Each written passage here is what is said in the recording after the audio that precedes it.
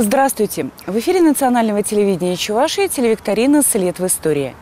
События, о которых мы хотим вам сегодня рассказать, случились примерно в эти же дни, в конце осени, начале зимы, но 70 с лишним лет назад.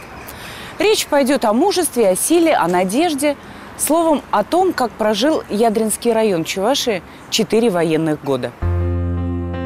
Маленький и уютный Ядрин накануне войны. Почти все жители, не занятые на производстве, вышли на синокос. Женщины уходили, приходили утром, а вечером они уходили. Вечером они уходили ну, часов в пять, в шесть, потому что утром нужно в Ядрине всем топить печки, сготовить покушать, скотина там, корову нужно подоить, в стаду утогнать, понимаете, а вечером встретить. Ж, женщины уходили, а мужчины и мы, пацаны, оставались вот в лугах. И теперь женщины утром приходят со слезами, плачут и говорят, мужики, война началась.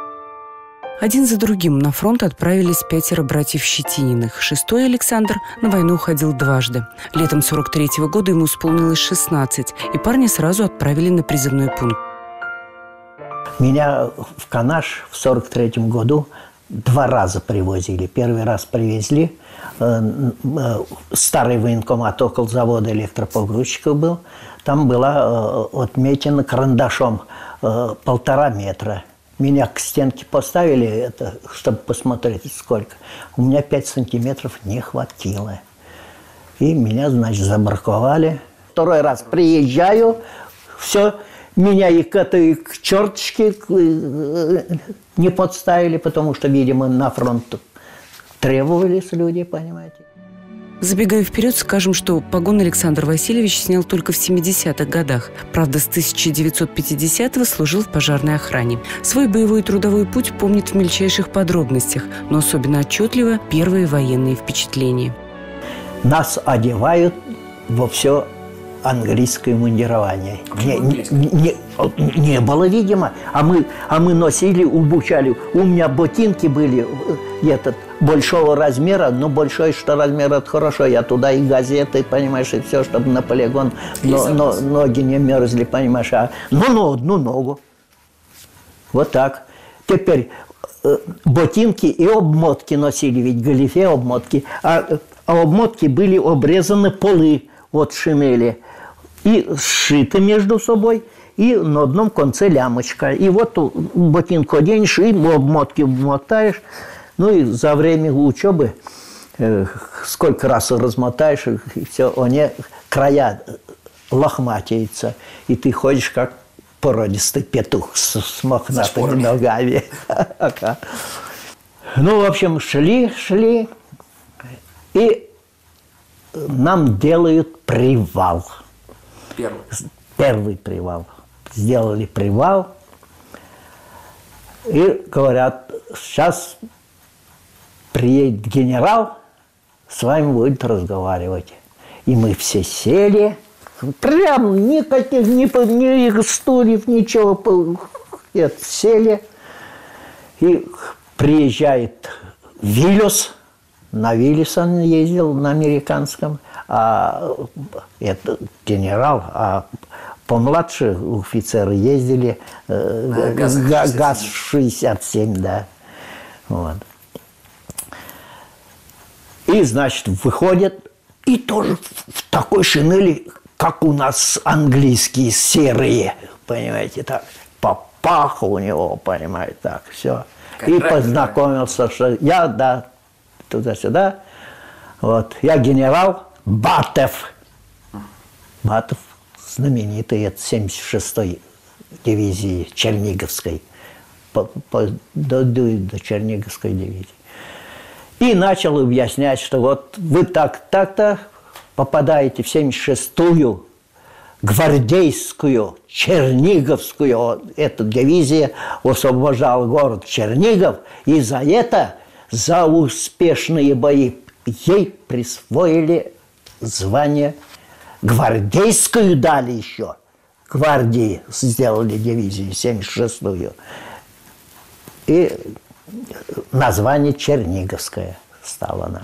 16-летний низкорослый Саша, возможно, так и остался бы для однополчан пацаном, но нашлись еще младше. Вот куда мы попали, там уже были малолетки, сыны полки. И, и, и, да, и их подобрали.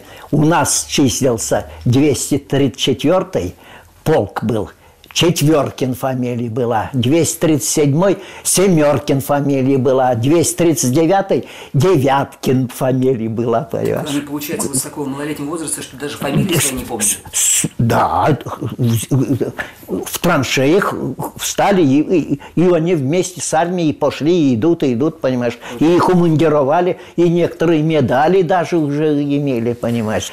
И наказывали, наказ, губвахту давали по, вот, после войны, как кончилось. А губвахта какая? Яму, выр, яму найдут какой-нибудь и посадят в яму, и в яме вот сидит он. И все, ага, ой, наш, где Четверкин, понимаешь, так? Говорит, на губвахту попал. А где губвахта? Вон там в яме сидит. Пойдешь к нему кормить, кормить ага. Вот, вот, понимаешь, такие отношения. Любили их. Александр Щетинин начал войну пехотинцем, а закончил минометчиком. В составе 76-й гвардейской Черниговской дивизии форсировал Одер, участвовал в боях за Варшаву, Ростенберг. Из шести братьев живым вернулся он один.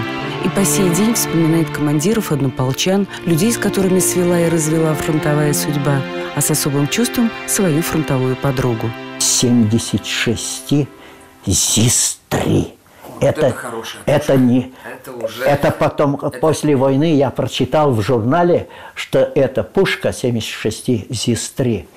А, а, а, самая передовая пушка. Ни одна армия мира во время Великой Отечественной войны не имела такой пушки. Начальником э, э, пожарной охраны города Канаша я часто ездил на совещание в министерство. Вот. И приехал пораньше, понимаешь, куда идти? Думаю, да, я зайду э, этот, э, в музей имени Чапаева. Знаете, да, да где памятник, а тут вот музей. И захожу, и, и пушка стоит туда. Пушка стоит. Я через эти красные флажки переступаю. А женщина кричит, куда вы нельзя, понимаете, такая перелез и казенную часть, где это замок упускается, поднимается, понимаешь, так? И это место поцеловал. И вылез и сказал, объяснил, я говорю, вы меня извините. Я говорю, я с этой пушкой, я говорю, я воевал. Я говорю, все. Вот, все извинила. Невнимательному зрителю может показаться, что все сюжеты в нашей передаче похожи один на другой. Неудивительно, ведь не только в Чувашии, но и в других республиках и областях всю войну люди жили по законам военного времени. Но, тем не менее, у каждого была своя война. Валентина Кирилловна Строганова перебирает фотографии, где она молодая барышня 20 лет. Детских снимков нет, как, впрочем, у многих жителей Чувашии ее возраста. Деревни разве фотографировали? Ну, не знаю, вдруг. Нет, это теперь вот э, как родиться, так фотографировать начинает. А тогда нет. Тогда нет. Вот у меня детских совершенно нет фотографий. У меня вот есть, даже школьных нет фотографий. Правда, фотографии не нужны. У этих людей было такое детство, что захочешь и не забудешь. А как же? А как же? Конечно, помню. Вы знаете, какой был гол в деревне-то? Потому что уже начали, начали уже призывать на фронт-то. Призывать начали. У нас не так уж много было мужчин в такой деревне-то, да? А вернулись-то, я, по-моему, только двое вернулись из фронта. А так, одни женщины, вот, и мы, и нас, и мне ведь было 9 лет, когда война началась. И мы уже работали в колхозе все.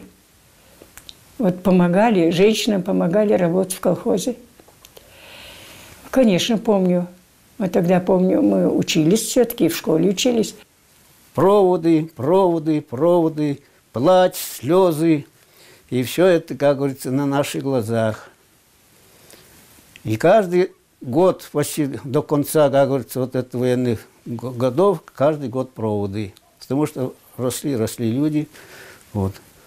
И остались, как говорится, одни женщины, да и старики остались дома. Ну вот папу как провожали, помните? Я папу провожал, мы папу провожали из Ядрина, не из дома. У нас он в Ядрине оказался, да, домой не попал, не пустили его.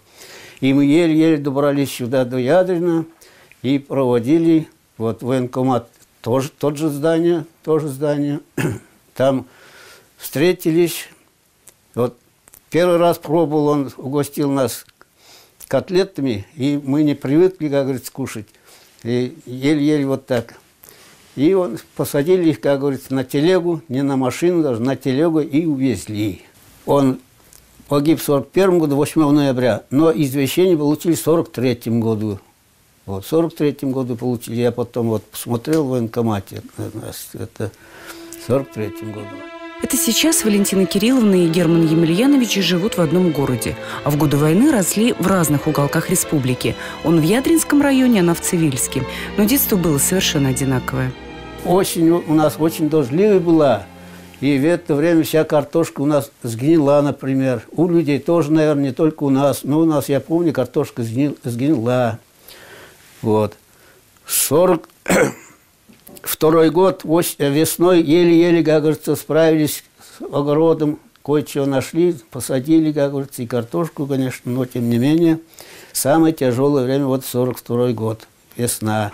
И как раз в это время уже все, не только мы, пошли на э, посаженный картошки участок искать, как говорится, крахмал. Вот он весной выходит, более ничего выходит.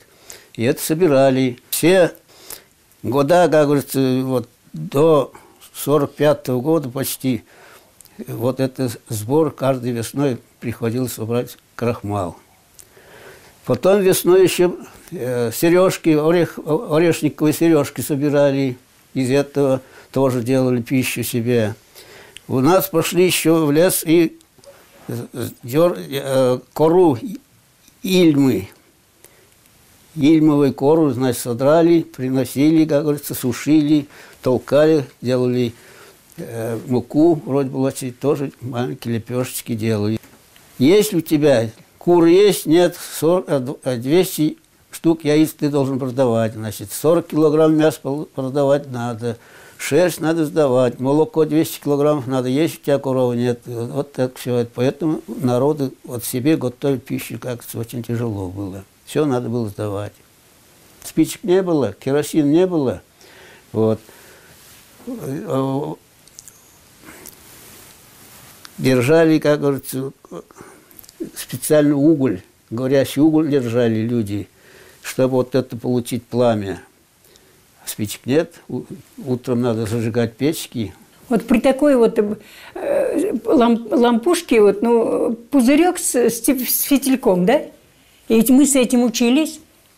Мы с этим вот росли и учились вот с таким светом. А потом ни тетради, ничего не было. Ничего не было ведь. Вот на чем писали, я вот даже сейчас не могу вспомнить, на чем писали. На газетах, говорят, писали, на книжках писали между строк. Какие-то книги там э, находили, уже старые там, да? Между строк писали, тетради-то не было. А мы учились это в войну. Сколько еще людей по всей России могут присоединиться к этим словам? Рано повзрослевшие, рано осиротевшие, они пережили столько, что хватило бы на несколько жизней, не то что на одно короткое детство. Но взрослым было еще тяжелее. Семья у нас была большая, детей было много, за всех душа болит. Сердце на свое. Старший, ну не, не старший, он 21 года, он не самый старший. У меня был брат Валера, и он э, ушел еще в действующую армию до войны. Перед войной, в мае месяце, их призвали в армию 41 года. И попал сразу в эту мясорубку на, на Западный фронт. И все. И он погиб. Он вообще-то успел прислать одно письмо домой из Житомира. Вот это я хорошо запомнила. А Житомир – это Западная Украина. Оттуда война-то началась. И все. И все пропал, пропал, пропал. Вот мама у нас, конечно, страшно переживала, все время плакала. А мы еще были небольшие. Она вот кому-то там, к молодым грамотным ходила, все запросы давали. А раньше э, запросы писали Молотову. Молотов был тогда э, иностранный, да? Иностранных дел. И все время э, присылали такой, такой ответ. Пропал без вести.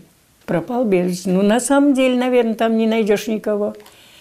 В Зап- в Западной Украине. И вот она порог сердца заработала. Да, теперь она.